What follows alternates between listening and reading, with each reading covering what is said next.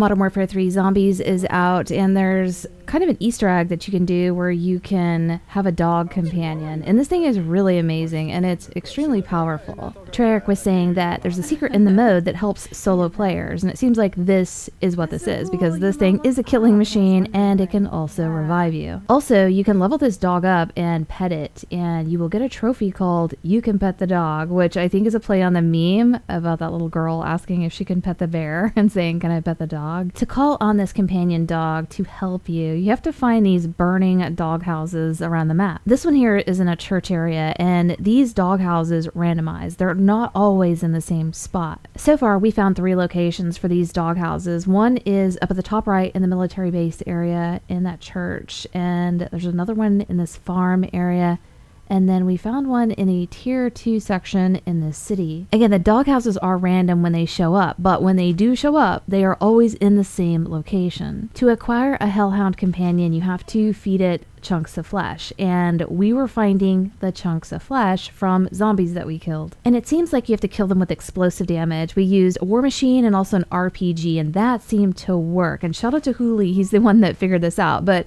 yeah, we were killing zombies with just regular bullet guns and nothing was happening.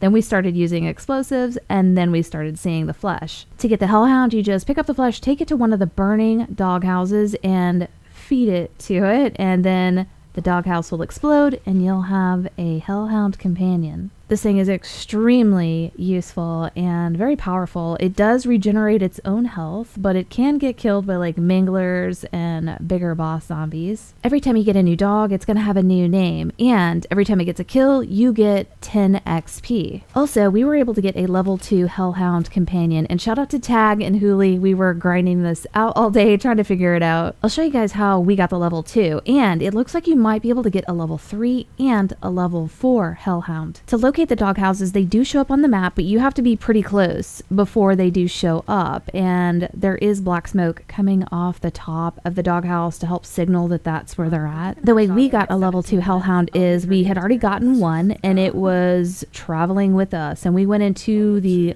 tier 2 area and found another doghouse. The first hellhound we got, we only had to feed it one chunk of flesh, but the second one in the tier 2, we had to feed it two chunks of flesh. And we had two dogs with us at this point, so you can have more than one at a time. The reason why I think it's possible to get a level 4 hellhound companion is because there are four slots when you go to feed the dog at the doghouse. The first one gives you a tier 1, then two give you a tier two. So if you gave it three or four, yeah, maybe we'll see a higher tiered hellhound. But you can't just jump right to like a three or a four you have to get a one, then a two, and then maybe the three and four. We're guessing that to get the higher tiered canines, you need to go to the red zone and find dog houses there. Right now, this mode is super new, so we're still locating the dog houses, but we know where three of them are, and we're going to keep working on this and try to find all the locations so that we can just go in and just search each of those spots and get those canines leveled up and get them in the game helping us. It's